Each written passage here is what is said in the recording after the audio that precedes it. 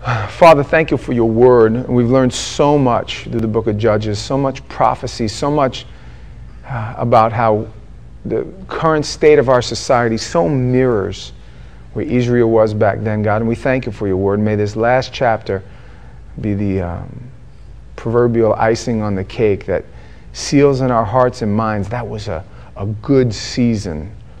May we remember this book and remember the things that you've taught us, and may we live it out. You changed my life through it, God, and I pray that you've changed other lives through it. God bless us, Holy Spirit. Have your way in our hearts. May we open them fully to you. May we, we not push away anything you want to do. If there's a word of prophecy tonight going forth to any heart, if there's a word of encouragement, if there's a rhema word, whatever it is, Father, I'm ready. I'm ready. Take a, a coal from the altar, touch, touch my lips with that burning fire, and may my words be few and may your words be many. These things for the furtherance of the kingdom of our God. Amen. Amen. If I had an iPhone up here, I'd say, This is an iPhone. And there's a very specific way to use this iPhone so that it, you get the optimal out of it and I'd tell you to read the tutorial and I'd tell you to go through the apps and all that stuff. Now, if you're one of those people who gets like a VCR that has every feature in the world, but yet when I go to your house, it's blinking 12 o'clock, 12 o'clock, 12 o'clock, 12 o'clock. It can do everything, man. The VCR, you bought a, it's a VCR, there's no VCRs anymore, say. there you go. Blu ray player, is that the newest thing now? The Blu ray player.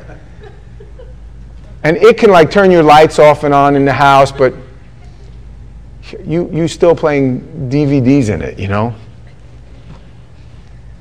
This is the state of the nation of Israel. They've got the promises of God. They've got the scrolls of Moses. But you know what they're getting out of it? Superstition. They're getting out of it superstition. What you're going to see tonight is so sad on so many levels that by the end of it, you're like, no way they did that. Yes. They found themselves. Imagine coming to church every week, wondering, looking at the cross, everyone going, Why aren't you blessing me? And then you're out there and you're huffing and you're puffing you're sexing and you're texting, and you're doing all these crazy things out there, but every week you come back and go, What? What am I doing? And it's like, Are you not listening? Are you not reading? Are you not spending any time? Is your heart not convicted at all? Now, I know that's nobody here, believe me, I know.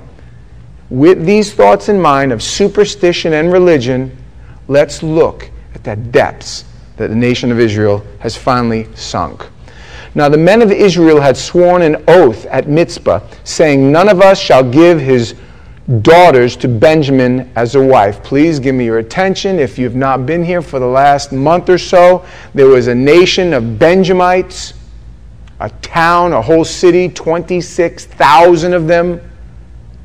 And they had so let their nation, their cities, go bad that a man taking his wife through there lodging at an old man's house. They surround his house at night. They bang on the door. Where is that man spending the night at your house? Bring him out here. We want to have sex with him. This man, not in the not the most courageous man either, said like, "You know what? Here, have my wife instead." They so defile this woman that she dies. He wakes up in the morning, literally kicks her. Get up, we're leaving, to find she's dead. I told you if you've not been here, the book was weird, right? He picks her up, he throws her on his donkey, he rides to his hometown, and he cuts her up into 12 pieces and sends her to all the nations, all the cities of Israel, each one. The nation of Israel is outraged. They call a grand meeting and they say, Benjamin must pay. So they declare war. And they wipe out, after a couple of battles that are very interesting, as we looked at last week, two weeks ago, all but 600 of the men They burnt the city with fire. They killed the women and children. And here they make a vow, saying, None of us shall give our daughters to Benjamin as a wife. Don't say I can, can't say I blame them. I mean, Sodom and Gomorrah had nothing on what was going on in Mizpah at the time. Then the people came to the house of God and remained there before God till evening. They lifted up their voices and wept bitterly and said, O Lord God of Israel, why has this come to pass in Israel that today there should be one tribe missing in Israel? Huh? All of a sudden now you're wondering why you've destroyed the whole city? I don't know where it comes in, where God told him to stop, whether God wanted the whole tribe of Benjamin, if he had reserved some. But all of a sudden, they're feeling bad about what they've done. And they went to the house of God, and why did, and of course, like, isn't it so true? Why did you let this happen? Why did I let this happen? I'm not the one that told you to fill in the blank. Verse 4 So it was on the next day that the people rose early, built an altar there, and offered burnt offerings and peace offerings. The children of Israel said, Who is there among all the tribes of Israel who did not come up with the assembly to the Lord? Give me your attention. Here, their religion is full blown. For it was David in the Psalms who wrote, Sacrifice and offerings you don't desire it was Isaiah that wrote, These people, they draw near to me with their lips, but their hearts are far from me. Here, they had the religion, they had the superstition. Oh, yeah, yeah, that's right. We have to make a burnt offering and a sacrifice offering. That's what we'll do. Now, after we've done that, who didn't come up? I got an idea. Here's my idea. Since there's 600 men from Benjamin who are dwelling, by the way, still in the mountain, afraid to come out of the mountains, they're living in the caves and the crags in the mountain. They're afraid because they're afraid they're going to get killed when they come out. I have a plan. Let's find somebody we're mad at. Let's kill all them except the virgin daughters that they have, and let's give them a Benjamin and let them repopulate. That'll solve the problem. Now, some of you guys sitting here going, no, that's not what happened. Don't please tell me. I mean, I know we've been through a lot. We felt like we've been on a long journey with this book, and we know the nation has gone through, but te- please tell me that doesn't happen. Oh, that's exactly what happens. Watch. Where was I? Thank you. The children of Israel said, Who is there among the tribes of Israel who did not come up at the assembly to the Lord? For they had made a great oath concerning anyone who would not come up. Now, it seems to be this weird thing. Please give me your attention one more time. It seems to be like a thing with making oaths. They take nothing for serious. But when they make an oath, oh, they're going to keep it. It's like a law of the Medes and the Persians. You know, it just can't be changed no matter what. You made an oath to God that you were going to kill your wife, so that's what you're going to do. You made an oath to God, and you can't break the oath. Now, murder, rape, sodomy, that's okay, but don't break your oath. Do you understand what's going on here? Now, again, you guys that a new description you might be thinking, what is this dude talking about? Stay with me, please. Maybe get some old tapes. You'll see what's happened here he surely shall be put to death. And the children of Israel grieved for Benjamin their brother and said, One tribe is cut off from Israel today. What shall we do for wives for those who remain, seeing we have sworn by the Lord that we will not give them our daughters as wives? Hey, I got an idea. Instead of doing the same thing you did that got you in this mess, why don't you just say, Hey, God, I'm really sorry we made a stupid vow. We're going to help the nation of Benjamites by giving them our daughters. Are we cool with that? No, that'd be way too easy. They got to do things the hard way. And they said, what one is there from the tribes of Israel who did not come up to Mizpah from the Lord? Now, let me explain that to you if you knew, if you're new. So, what happens is this guy, he cuts his concubine or his wife up, he sends it to the tribes of Israel. They call this big meeting, and all the nations come. Half a million people show up. Who didn't show up?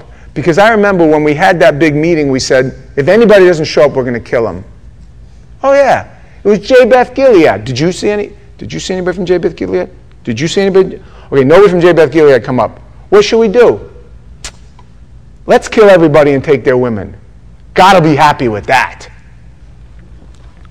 In fact, no one verse, finishing verse 8, had come up to the camp from Jabesh Gilead to the assembly. For when the people were counted, indeed, not one of the inhabitants of Jabesh, Jabesh Gilead was there. So the congregation sent out the 12,000 of their most valiant men and commanded them, saying, Go, strike the inhabitants of Jabesh Gilead with the edge of the sword, including the women and children, and this is the thing that you shall do. You shall utterly destroy every male and every woman who has known a man intimately. So they found among the inhabitants of Jabesh Gilead 400 young, young virgins who had not known a man intimately, and they brought them to the camp of Shiloh, which is in the land of Canaan. Can it get worse? I mean, honestly, can it get worse? This is what happens. Listen, let me tell you what happens amongst Christians. Come down on ourselves for a minute we have this idea if we will get rid of every pervert, every sodomite, if we'll get rid of every gay person, if we'll destroy the evil in our land, then our land will get better. Listen to me. There's a Bible verse that says in uh, Second Chronicles 7:14, I believe it is, if my people who will humble themselves and pray and turn from their wicked ways and seek my face, I will hear from heaven and I will heal their land. It was G. Campbell Morgan who said this.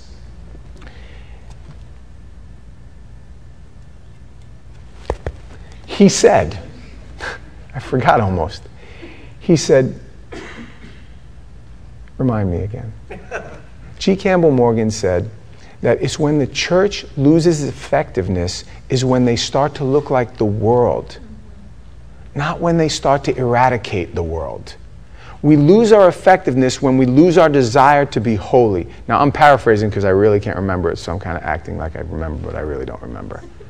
But I remember right before I came up here. I'll remember afterwards. So if you want to know the exact word, just see me afterwards. I don't remember. But here's what he was insinuating that the more we look like the world, the less effective we are in the world. It's not by destroying the world. It's not, yes, let's round up all the sodomites and kill them. It's not that. It's us now, that's the exact same place that the nation of Israel was at. Listen, they looked more like the. It's not like the rest of the nations were doing so good. You know, all the other tribes were doing great, but Benjamin was doing terrible. No, here was this guy from the tribe of Judah. He had a concubine. He was supposed to be a Levite, a Levite from Judah with a concubine. What are you doing? How far have you lost? And that's what's happening in our churches. That's what's happening. We've come so far away from the foundation of this Word of God, we've lost our effectiveness in the world. We look just like the world. Hey, it's okay if you're living together, no problem. You smoke a little here, and there, don't worry about it. Come on. Do you want to change this world? Is our country, do you want to transform our country? Live the life. Fight the good fight. Faith is not believing despite the evidence. Faith is obedience despite the consequence. Do you understand that? Faith is not believing in God despite what you think is evidence against it. Faith, true faith, real faith is obedience to God despite the consequences of what will happen if you obey. Do you understand that? Yeah, it does get worse. Then the whole congregation sent word to the children of Benjamin who were at the rock of Rimmon and announced peace to them. So Benjamin came back at that time. Remember, I told you they went up into the rocks. Well, all of a sudden they sent, you know, a white flag or something. Hey, it's cool. We're cool now. We're cool now. As a matter of fact, not only are we cool, but guess what? Here's some women that you can have. Um, they, they're women that they've kept alive from Jabesh Gilead, and yet they had not found enough for them. Oh, we only found 400 women. We wiped out all Jabesh Gilead, and there was only 400 virgins in the whole place. So we brought them back. So we're lacking 200. What should we do? What should we do? What should we do? Now we made a vow to God. We can't give them our daughters. But you know what? I got an idea. You know how we have this big feast and all the virgins they go dance in the forest? Well, let the Benjamites come and kidnap them it's not like we gave them. It's kind of like a way around the vow. So, so here's. They obviously didn't know the verse that says, Do not be deceived, for God is not mocked. What a man sows, this too he shall reap. They obviously had not figured this out yet, that God's a little smarter than them. Because in having a, ready, relationship with God, the Spirit of God can move upon the Word of God and change your heart. Here, they really thought they were going to outsmart God. Man, I don't want to break my vow. You know, something bad might happen. My crops might die or something like that. But if they go dancing in the field and they get kidnapped, oh well. Please tell me that that didn't happen. Can't do that. That's what happened. Then the elders of the congregation said, Look at verse 15. And the people grieved for Benjamin because the Lord had made a void in the tribes of it. Yeah, the Lord did it. Then the elders of the congregation said, What shall we do for wives for those who remain, since the women of Benjamin have been destroyed? And they said, There must be an inheritance for the survivors of Benjamin, that a tribe may not be destroyed from Israel. However, we cannot give them our wives for our da- for, as wives from our daughters, for the children of Israel have sworn an oath, saying, Cursed be the one who gives a wife to Benjamin. Then they said, In fact, wait, there's a yearly feast of the Lord in Shiloh, which is north of Bethel on the east side of the highway that goes up from Bethel to Shechem and south to Lebonah. Therefore, they instructed the children of Benjamin, saying, Go, lie in wait in the vineyards and watch, and just when the daughters of Shiloh come out to perform their dances, then come out of the vineyards, and every man catch a wife for himself from the daughters of Shiloh. Then go to the land of Benjamin. Then it shall be when their fathers or brothers come to us to complain, we'll say, hey, go easy on them for our sakes, because uh, we didn't take a wife for any of them from the war. It's not like as though you have given the women to them at this time, making yourselves guilty of your oath.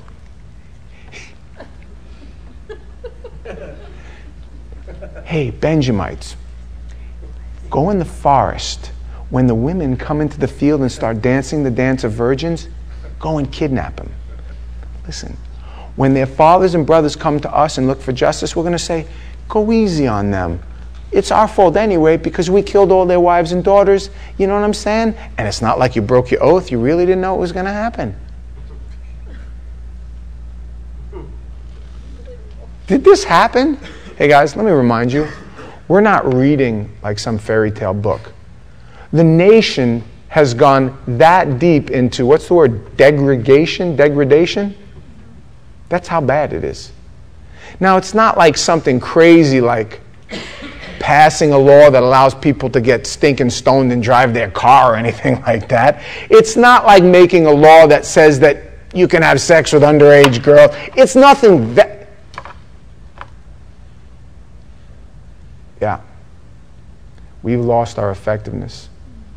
Our country is so swiveled vacillated back and forth. Are you ready? Are you ready to be a minority? Because you're a minority. And I'm not just talking about the brothers around here, I'm talking about the Christians. You're a minority now. And are you willing, ready? Are you willing to say, then a minority I shall be, for I will never agree with the Republicans. I will never agree with the Democrats. I will be a minority who believes in Christ and believes the only safe place is in Christ's arms. And I'll vote for the wrong guy every single time because I will not choose the lesser of two evils for my country, but I will be holy and I will choose righteousness. Woe unto him who calls evil good and good evil. Isaiah well wrote, Mercy has fallen in the streets and justice can't get through. Are you ready for that? Or let's, I got a better idea. Let's, I heard the whole Tea Party thing is a good movement. Let's join with them. Yeah, but some of them are doing some, ah, as long as we get a good man in the office. I mean, he's not a Christian, but maybe he's like a Mormon. Not me. Not me. I'm ready because He's coming soon. His return is imminent in a minute. It's so near. It's at the door, and I'm waiting, and I don't want to be found compromising when he comes back. You guys have heard me say it before. When the rapture happens, what you going to be doing? What you going to be doing? Hey, I'm voting for raptured. Hey, who are you just voting for? Nobody? Hey, what were you just watching on TV? Nothing? Nothing. Do I get my new body now?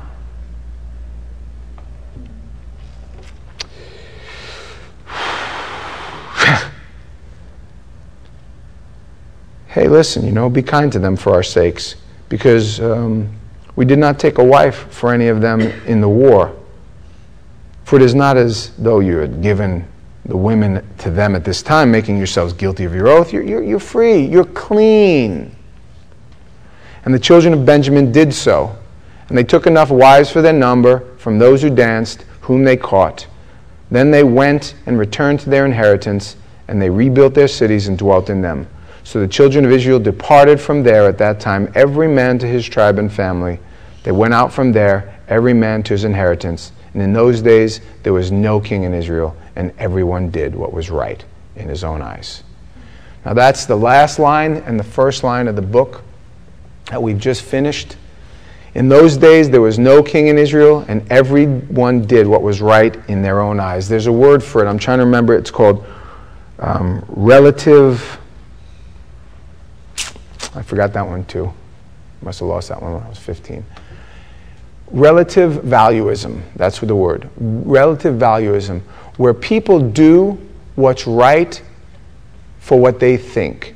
There's no value in moral absolutes. Man, my words ain't coming tonight. Moral relativism whatever values you happen to possess at that point in time, whatever values that society has. Here's what they're going to tell you guys. And, and listen, let me be bold. let me be bold. Listen, we've just come out of a really bad time to be white. For the last 50 years in our country, it's been bad to be white. Bad. Because no matter what you did, if you were black, it was okay. The society that has been replaced is the society that has been given to political correctness. Now, depending on the neighborhood you come in or the neighborhood you were brought up in, listen to what I tell you now. Here's the new way. Ready? It's going to be a bad time to be black because the sickest thing has happened.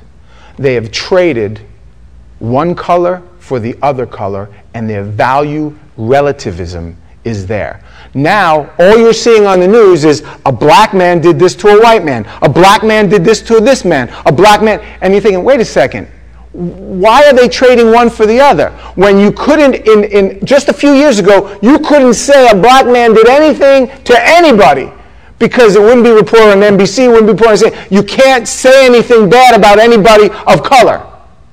Now, all of a sudden, on TV, on the news, all you're seeing is the opposite. And this is what they want to do. They want to divide us, they want to conquer us. Listen to me. It was a man about 50 years ago, he said, I have a dream that a man will be judged by the content of his character rather than the color of his skin. And there was a man who said, is what he said, he said, I fear for my black race for the charlatans are abounding more and more of our own color, telling our people what they have coming to them instead of going out and earn it. That was George Washington Carver who said that in the early 1900s. Now is the time to follow what this book says more and more and more. And to look around you and judge each other by the spirit that is within you, not the color that's upon you, the, the, the money you have, or anything like that. If this society goes the way it looks like it's going, let me tell you something. The race war is coming. And it's going to fall hardest in cities like we are. Listen, let me let you people in on a little secret. And, and, and if I'm offending somebody, come and talk to me afterwards so I make it clear. Black people make up less than 15% of this country. If the newspapers and the televisions have its way, when the war starts, the coasts are going to be destroyed, white and black.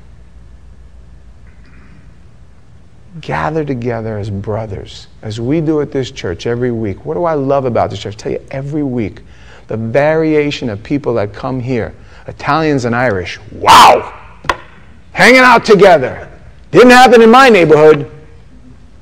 I say in jest, and the white and the black the brothers and the sisters who don't care about the color of each other's skin, but they look at each other's spirit and they discern, you know, I really don't care what color you are, buddy. You're no good. Or, bro, I don't care what color you are. Let's go out. Let's hang out. Let's encourage each other and have what the Bible calls true fellowship. Do you know every time that you hang out with somebody and you talk about the Lord, in the book of Malachi, in the third chapter, it says that, the, that they write a book about it. There's a book about fellowship. Now, there's no book about football, NFL. I know that just started, everybody's into the fantasy league. There's no book. You get to heaven and be like, oh, you're the dude that won the fantasy football league. Come on, Angel Gabriel wants to meet you. no, no. But there is a book about fellowship in the third chapter of Malachi. And when they talked about the Lord, a book was written. Ah, my people are talking about me. Isn't that great? That's not to say football's bad, no fantasy football. My son loves it, the youth groups, uh, have fun, but don't make it absorb you so much that you forget. God gave you football to enjoy, not to obsess, right? Now, again, if something I said tonight in any way, shape, or form offended you, let me clarify it, make sure, because I often mess up my words. I'm often, but I'm trying to illustrate the power of unity. You see what it said? There is no king in Israel, and everybody did what was right in his own eyes. And let me tell you, lastly, and here's where we close the last thing there's no king in Israel. There's still no king in Israel, but there will be one soon, and his name is Jesus Christ. He's coming back. He's coming back soon. One person makes such a giant difference. Do you understand? There's no leader in Israel at the time. Nobody stood up and said, That's wrong. Let's not do that. There's no king. There's nobody standing up with the Spirit of the living God saying, Come on, let's do. One person makes such a difference in a home, in a job, in a workplace. Listen, when we do the convalescent homes and one person brings a Bible study, it transforms the whole place. Within a matter of months, you see the Spirit of the living God moving on the hearts of people. And then you pull that person out, and the place sinks. Let me tell you, and I don't mean to brag about the dude because I love what he does. My brother Frankie, when you go down and you see the power of the Word of God going forth at the courthouse and the things that I'm telling you, He transforms that place. And him, and there's a few other people that do that. There's one woman that goes there and she plays that gospel music. What's that woman's name? You know, you know, you know that woman who plays the piano? She, one time we invited down to church. She wouldn't come. No, it's great. They make a difference. And you remove that person The same way the toilet bowl spins when you flush it. One person makes a difference. There was no king, and everybody did what was right in their own eyes. Mm. That's where we're at, guys. Be a king where you're at until the king comes, till the true king comes. Make a difference. Amen? Let's pray. Father, we thank you that you've given us a chance to read your word and to speak your truth. God, we thank you that you've given us a spirit to discern the times, as your word says, that you've given us, um, you rebuked. God, your word re- says you rebuked the, the Pharisees because he said that you can look at the sky and say it's red and it's a, a storm coming, but you cannot discern the sign of the times. God, may we dwell in unity and peace. May the world be astonished at the diversity of the body of Christ in this church and in this country. And God, may they wonder what's going on there as we lift up the Son of Man, for your word says that when the Son of Man is lifted up, he will draw all men to himself. And God, may this word which you brought forth continue to transform us and change us. May it continue to have us think for ourselves and act by the power of your Spirit. May the confirming power of your word lead and guide us. Holy Spirit, right now, seal in our hearts and minds the word that went forth. If there's anybody here, God, that your word spoke to, and yet the enemy is trying to snatch the seed, seal them, God. Seal them. Great and awesome God, Holy Spirit, we call upon you. Seal us and change us. Transform us and mold us, may, by the power of your word and the power of your spirit, we may have right thinking. For your word says you've given us no fear, but power and love and a sound mind. May these things happen